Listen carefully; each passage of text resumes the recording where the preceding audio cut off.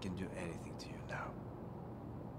But once you're out of here, there will be no protection for you. And certain things happen to little girls who don't behave. Understand what I mean? Are you threatening me?